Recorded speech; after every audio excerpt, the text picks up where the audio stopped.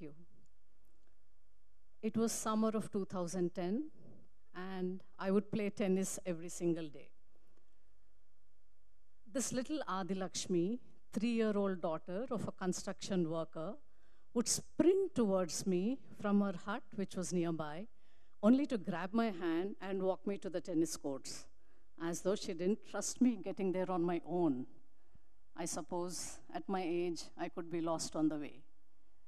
Very soon I realized, more than my own tennis practice, I was waiting the arrival, anticipating the arrival of Adi Lakshmi. And I must admit, when she didn't come, I felt that little void. Adi Lakshmi had this very unkempt, cute appearance. She had this big brown eyes and a very serious expression. She didn't smile much. All this gave a very intense aura around this little three year old girl of a construction worker, daughter of a construction worker. I couldn't wait to capture her in my art. Speaking of which, I'm a figurative artist. My art is influenced and propelled by the compassion mostly of the underprivileged children. So I got an idea. Even before I could think of Adi Lakshmi, my earlier works, Girl Child, the most cherished works, was also compelled by the compassion and influenced by the compassion of the underprivileged. And it focused on the girls coming of an age with all her vulnerability, influence, and bewilderment it entailed. I got an idea. I'm going to make paintings of Adi Lakshmi, sell them, have an exhibition and sell them, and donate the entire proceeds to this NGO called Spurti Vision Care Society. So now I needed to find a sponsor. I started visiting people, some individuals, the big shot builders, the corporates. Everybody had the same negative response. Economy is very low. It was 2010, or this is not the time to do this, or do it at another time. So I just left it aside. I wanted to donate this to Spurti Vision Care Society, which was run by this very elderly widow. She organized tournaments, cricket matches for visually impaired. And she would go to the people asking for one rupee as a donation, 364 rupees per person. So I didn't find any sponsor. I just left it aside and continued with my work. One day, somebody knocked on my studio door.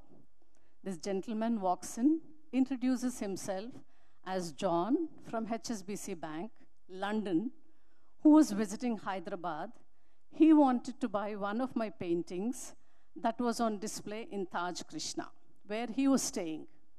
So he came in, he got a little curious about all the Adi Lakshmi paintings, and he left.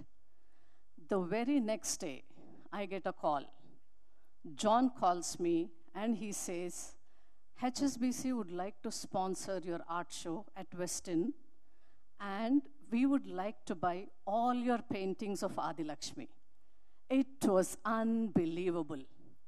At a time when I had no hopes of getting anybody, putting this project aside, which solely started on inspiration and altruism, it was, this happened. This taught me a very important, essential lesson of life. When your intentions are noble, there's divinity that will shape your outcome. Life went on. About 10 years back, I felt I was stuck in my life. Work become, became very monotonous and a little bit boring. I realized I needed to devote some time and effort to a social cause. After a little bit of research, I joined ABC. It's an NGO called Advocates for Babies in Crisis. They dealt and helped children who didn't have parents or any family. We call them orphans. So we go to the orphanage three times a week. We cuddle the babies, give them warmth and love which they so badly require. I cared deeply for these children. What happens to them when they grow up? Even with regards to Adi Lakshmi's exhibition, I focused on what happens to these children's schooling, education of these construction workers' daughters or children. They move from city to city, town to town. You know, we must try and understand their struggles and show empathy when it is required. So I decided to make a coffee table book. I thought it'll reach wider audience. Very soon, my experiences with these children morphed into art. So I had my paintings ready. I was planning a coffee table book so it reaches wider audience. I thought if I keep it in public spaces, people will pick up, read, and they will get an insight into what is happening with these children. You know, in our country, it's extremely easy to become callous because we see impoverishment all around us on a daily basis. So now I'm back to square one. I need somebody to sponsor the prints of the print, uh, to sponsor the printing of the book. I again started approaching people, some individuals, some corporates. The same response, one of the three responses. We don't sponsor for books, or our funds are over, CSR funds for the year is over, or we don't publish we don't support any of this. I just left it aside, as always. Another friend of mine, she connected me to this very good Samaritan. I went to meet him. It was Pragati Printers, one of the best. It's the topmost in Asia. I went to meet this gentleman very nervously. Even before I could finish telling him what this coffee table book was all about, he said, We'll print 400 copies. Is that enough? I couldn't believe it. It was much more than what I wanted to ask. And also went on to say, next time you do anything similar, please come to us. We may like to support you. Again, once again, I remembered the lesson I learned earlier. When your intentions are noble, there's divinity that will shape your outcome.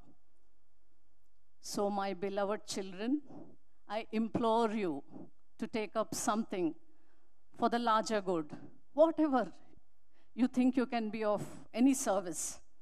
It can be as simple as taking tuitions to children who can't afford, caring for an injured or an abandoned animals, teaching hygiene to the children and giving basic essentials, or it can be something bigger, make a group or with the support of parents and in doing so, you may come across, you may face hardships and hurdles. But please, please don't ever give up. As you know now, when your intentions are noble, there's divinity that will shape your outcomes. Undoubtedly, will shape your outcomes. After all, it's the inside that counts. Thank you.